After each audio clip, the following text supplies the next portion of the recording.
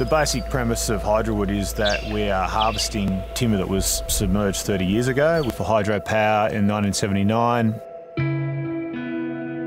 Myself and my business partner Dave were having a beer one night, and uh, I think he suggested the idea, which I told him was bloody stupid. No, look, he'd been to British Columbia, so they use the rivers there to transport timber to get them to the mill, and sometimes trees sink people started realising that there were trees underwater they could pull back up and they were still fresh. It was really sort of a thought around these trees here have been underwater for 30 years. It's dark, it's, it's cold. They probably haven't started to deteriorate, so why wouldn't that be the same process as what was in British Columbia? So we went to the University of Tasmania and said, hey, would you guys help us out on this? And we went and pulled some trees out using divers and tested them, and they were okay. When we first started, there was a whole lot of negative sentiment towards the concept. Can't be done, you're mad.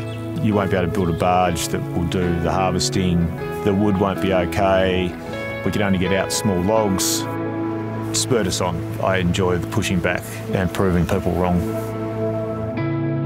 When we went to Hydro and the government more broadly said, hey, we want to do this, there was a level of scepticism.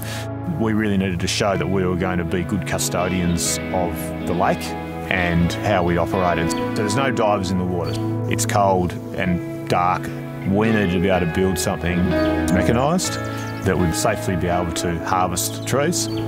And we went and built a barge called Hydrowood One, which is very creatively named.